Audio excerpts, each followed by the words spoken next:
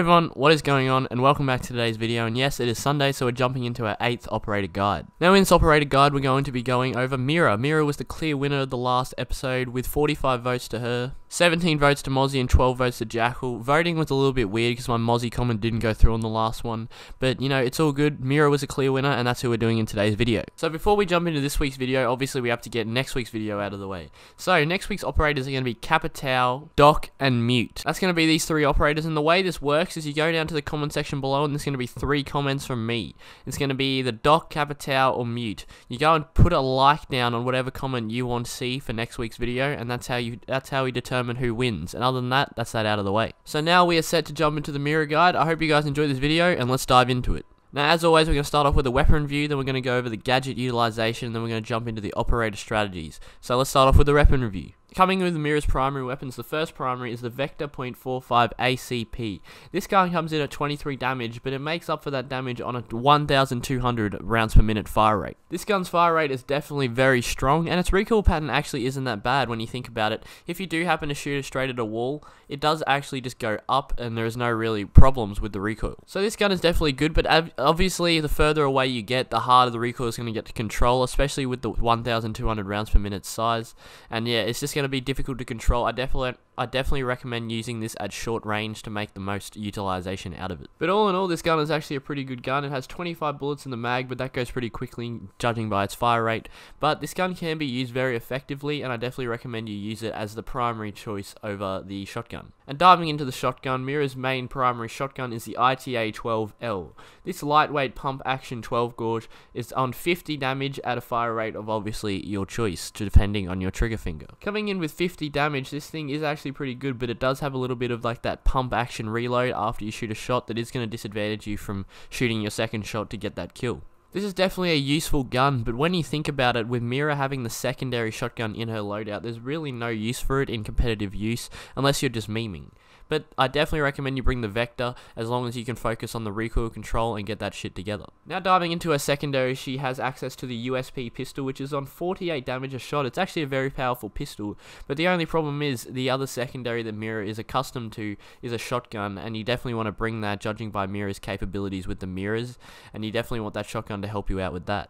But this pistol is definitely very good, and you can use it if you would like. And then obviously finally we have the ITA-12S. It is a much more smaller and compact version of the ITA-12L and it only has 5 bullets in the magazine but this does 70 damage a shot on obviously your fire rate. It's actually a little bit easier to shoot, it shoots a little bit faster and this gun is definitely useful to have to combat with your Vector and it's definitely a great loadout that Mira has. And diving into a gadget, she has barbed wire and nitro cell. I definitely recommend you bring the nitro cell if you're going to be holding down the mirrors that you put down because there's certain situations like on if you're holding downstairs that it, someone's going to try and put a plant down and you can't really see them, so a nitro cell could come really handy in that situation. And that's about all I have to say about the weapon. She has a great loadout, and let's jump into the gadget utilization. Now, as you guys probably all know, the, the Mira the Mira gadget is the black mirror. The black mirror is a one-sided mirror that you can put down on either wall, and it has a little gas canister that you can shoot out, that you can peek through, or you can just look through it and not be able to shoot through it, and utilize this with a soft wall, which is what main high-skill Mira players do.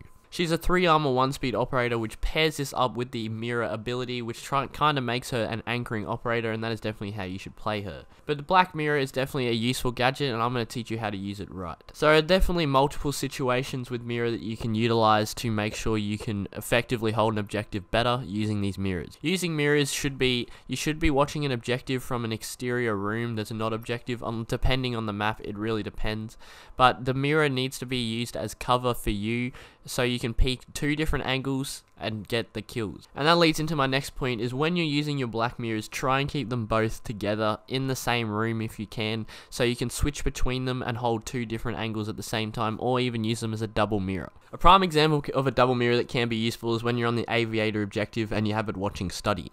I definitely recommend that this can be useful, but there is also an alternate option that you will put a mirror on the right wall of aviator and watch games as well, which can be more efficient for watching multiple angles, but that's just an example of a double mirror that can be effective watching that outside balcony. And definitely an example of mirrors split that you can use is the party and office objective of Outback. A mirror hold on this site is really good and if you do it right, which I'm going to show you in the clip behind me, you can definitely effectively hold this objective hard watching both entries from laundry room and from garage and it definitely is efficient as long as someone was watching Shark Stairs for you or you just have sound so you know if they're pushing. So these are definitely the two best ways you can utilize the Mira's gadget with either a split hold in one room or with a double mirror. And I definitely recommend you do use Mira because in certain objectives Mira can be really useful. Another great example is if you're holding down downstairs Oregon.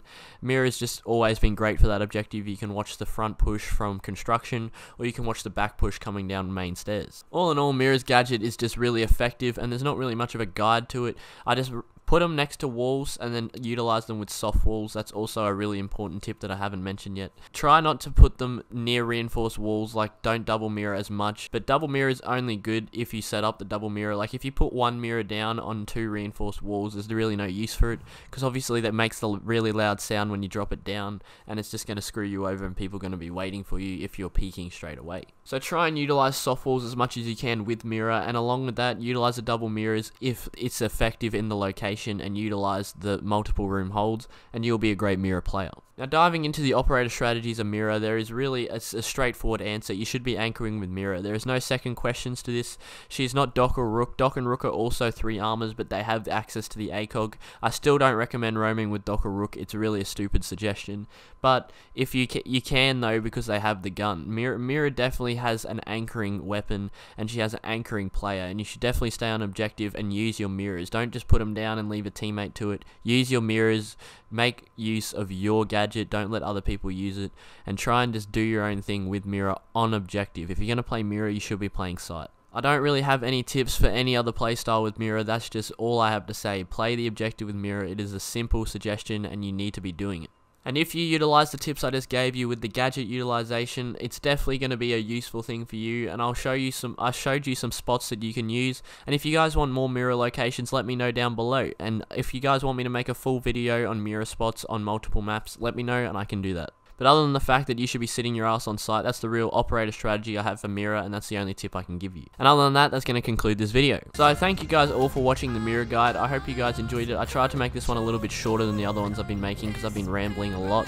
So I tried to make it more short and concise and fit more detail in. So make sure to go to the comment section down below and vote for either Capitao, Doc, or Mute, and that's going to be who's going to be in the next video. So I hope you guys can go vote down below, and other than that, I hope you enjoyed this video. I hope you learned something new, and I will catch you guys in the next one. Peace.